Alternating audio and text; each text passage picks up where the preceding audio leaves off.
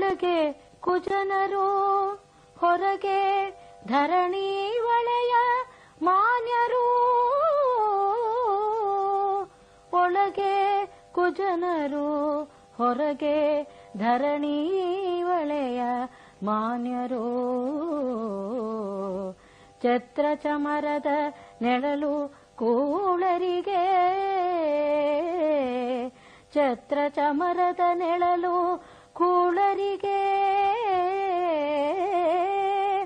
ಆತಪದ ಬಲು ಬೇಗೆ ಬುಧ ಜನಕ್ಕೆ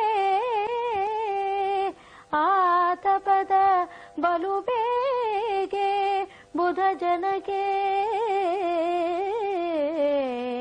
ಒಳಗೆ ರಾಜದ್ರೋಹಿಗಳು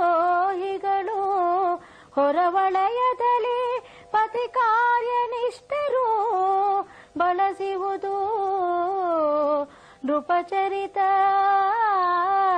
ನಿನ್ನಂತಸ್ತವೇನೆಲ್ದ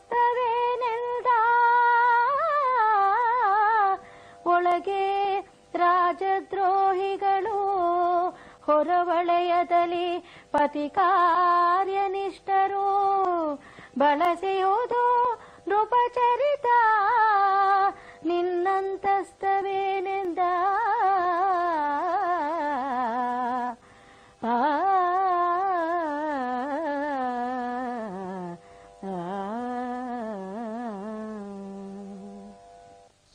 ಸಾಮಾನ್ಯ ರಾಜರುಗಳ ಸ್ವಭಾವ ಏನು ಅನ್ನೋದನ್ನ ಹೇಳಿ, ನೀನು ಈ ವರ್ಗಕ್ಕೆ ಸೇರಬಾರ್ದು. ಸೇರಿಲ್ಲ ತಾನೆ. ನಿನ್ನ ಅಂತಸ್ಥ ಏನು? ಯಾವಾಗಲೂ ಕೂಡ ಒಂದು ವಸ್ತುವನ್ನ ಸಾಧಿಸಬೇಕಾದ್ರೆ ಉದಾಹರಣೆಗಳ ಮೂಲಕ ಸಾಧಿಸಬೇಕು. ಈ ಉದಾಹರಣೆಗಳಲ್ಲಿ ಕೆಲವು ನೇತ್ಯಾತ್ಮಕವಾಗಿರ್ತವೆ, ಕೆಲವು ಇತ್ಯಾತ್ಮಕವಾಗಿರ್ತವೆ.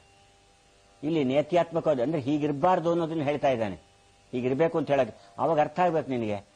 ಎಂತೆಂತ ರಾಜರಿದ್ದಾರೆ ಗೊತ್ತಾ?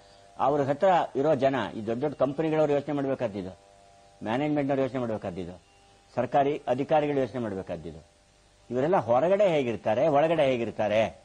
ಆದರೆ, ಒಳಗಡೆಯಲ್ಲಿ ಇರೋ ಜನ ನಿಮ್ಮನ್ನೇ ವಿಶ್ವಾಸದಿಂದ ಇಟ್ಟಿರಲ್ಲ, ಆದರೆ ಅವರು ಬೆಳೀತಾ ಇರ್ತಾರೆ. ನಿಮ್ಮ ವಿಶ್ವಾಸ ಗಳಿಸ್ಕೊಳ್ತಾ ಇರ್ತಾರೆ. ನೋಡಿ ಇದು, ಇದೊಂದು ವಿಪರ್ಯಾಸ.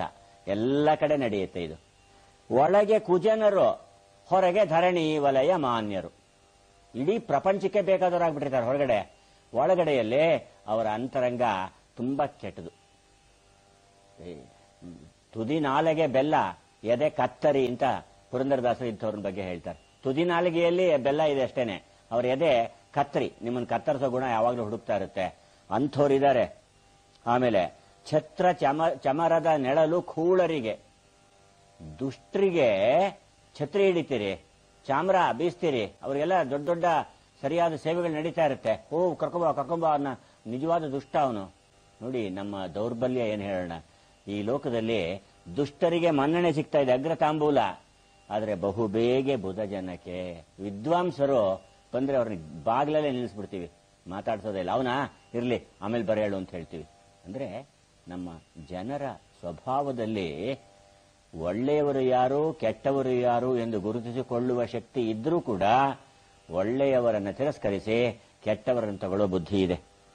ಆಮೇಲೆ ಮೂರನೇದಂತೂ ಬಹಳ ಅನ್ಯಾಯದ್ದಿದು. ಒಳಗೆ ರಾಜದ್ರೋಹಿಗಳು.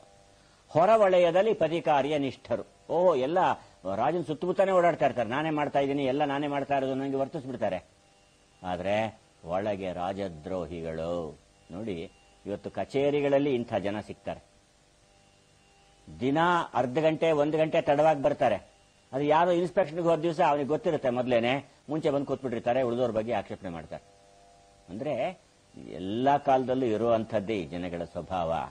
ಅದರಿಂದ ಈ ರಾಜರನ್ನ ಬಳಸಿರುವುದು ಇಂಥ ಜನಗಳ ಒಂದು ಗುಂಪು. ಅಯ್ಯ ಧರ್ಮರಾಯ, ನಿನ್ನ ಅಂತಸ್ಥವೇನೆಂದ? ನಿನ್ನ ಮನಸ್ಸಲ್ಲಿ ಏನಿದೆ ನಿನ್ನ ಸುತ್ತಮುತ್ತ ಇಂಥ ಜನ ಇದ್ದಾರಾ ಇಲ್ಲ ತಾನೇ? ಅಂತ ಎಚ್ಚರಿಸ್ತಾ ಇದ್ದಾನ ಅವನನ್ನು.